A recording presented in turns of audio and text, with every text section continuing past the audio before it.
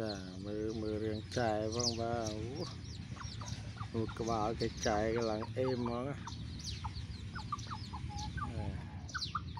កំពុងបញ្ចេញរៀងយ៉ាងសង្ហាទៅម្ចេះល្ងាវតិចតិចទេបងប្អូនប៉ុន្តែគីឡូនិយាយពីគីឡូ2គីឡូមិនក្រោម2គីឡូទេនេះអេហ្មងណា បងប្អូនចាប់អារម្មណ៍អាចខលបានឬក៏តាក់ទងមកបានបាទ